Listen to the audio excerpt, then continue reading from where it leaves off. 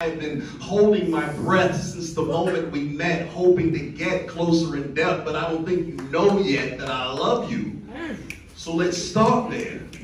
Strip the art bare. That is my heart there.